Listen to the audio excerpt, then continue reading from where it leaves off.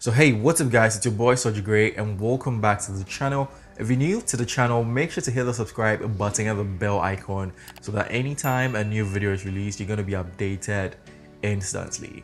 Uh, all these big smartphone manufacturers and brands are trying to venture into podcasting, providing podcasting services, and pro- providing apps that people can use in editing podcasts or consuming podcasts and Samsung is part of those big brands. So if you happen to have one of the latest Samsung like the Note 10 line, the Note 20 line, or the S20 line, you would have access to Samsung's uh, podcast app called Samsung Podcasts, which you can access through Samsung Free. So for those of you who don't know what Samsung Free is, you'll notice that if you're on your home screen this way, normally if you swipe to the left, you can have access to the Google feed. Well, you still have that. So if I pinch on the home screen now and I swipe to the left, you have two options. You can choose to have Google Discover as your Google feed, or you can have Samsung Free as your feed. So now we're using Samsung Free so that we can be able to access Samsung podcasts. With Samsung Free, you have access to other things. You can watch content for free. You can also listen to podcasts for free, read the news for free, and then play some games for free as well. So, to access the podcast app, you have to click listen, and then we have the podcast app. Now, what are my initial impressions of Samsung podcasts? I think it still has some drawbacks. It's I, would call it half baked because uh, for someone like me who is big on listening to podcasts and who has experience listening to podcasts on other platforms like Spotify and uh, Breaker, Pocket Cast, I do think uh, Samsung Podcasts is missing some features. Uh, I think number one is you cannot download podcast onto your phone. So you can't actually listen to podcasts offline, which I think is a big bummer, especially in Africa where you'd have a lot of dumsor or you'd have a lot of electricity outages that's going to affect your data, affect your Wi-Fi. So you need to have content offline so that you can consume. You don't have that. Uh, in, in, your area, it might be different, but I think in my uh, kind of in my geographical location, that's one big issue. And it's nice to have podcasts downloaded just in case the internet is having some connectivity issues. You can listen to them.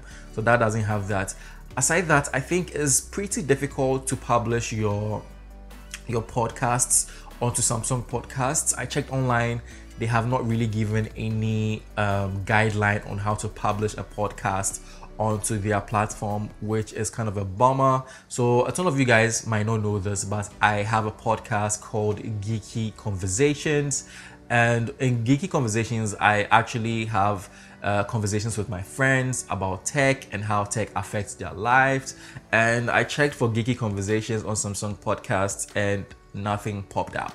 So I was curious, like a ton of people have the Samsung smartphone. It would be nice to actually uh, publish my podcast so that people who have Samsung devices who want to use Samsung podcasts can have access to them. But uh, there's no way of doing that. I also tried to look for some of my favorite podcasts, so like uh, Business Wars from Wondery, and I did not get that as well. So searching for Business Wars, nothing came up. So that is also a bummer. So it means that most of this big time um, podcasts are not yet on Samsung Podcasts, which is something I do not like. Aside that, I really love the interface.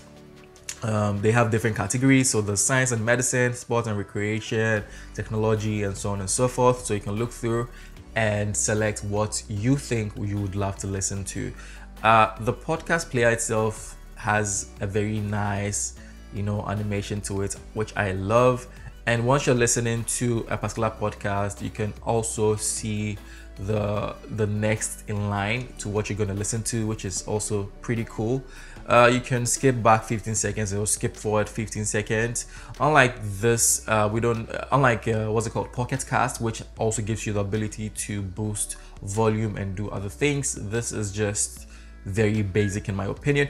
I do think it's a good thing samsung is venturing into podcasting I believe they should invest more. I think podcasting or podcast listening or consuming is the next big thing. So they should do uh, maybe bring about a separate app that anyone can install. So even if you're not on Samsung, if you're not using a Samsung device, you can still access the Samsung podcast uh, player and then you can use that because you know uh, apple is getting big into podcasting spotify is and amazon just bought a okay, not just bought, but like recently bought a uh, Wondery, the the podcast production company. So podcasting is becoming the next big thing. So it would be nice for Samsung to venture into it. And since they have a lot of uh, high end to mid range to low end devices, it would be nice to bring podcasting to the masses. So this is my opinion and my first impressions of the Samsung Podcasts app.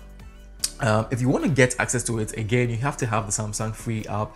I think APK Mirror has an APK for Samsung free, so I'm gonna leave that in the description so you can download it to see if your your phone is compatible with the Samsung Podcast app. Thanks for watching this video. I go by the name Sorji Grey. If you're new here, make sure to hit the subscribe button and the bell icon so that anytime a new video is released, you will be updated instantly. I'll catch you guys in the next one. Peace out.